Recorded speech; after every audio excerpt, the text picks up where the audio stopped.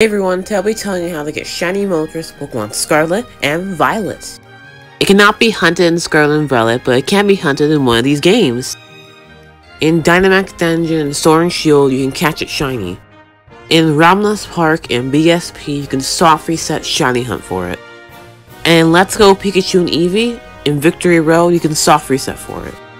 But there's always option number two, trading. It can be trading Pokemon Scarlet and Violet.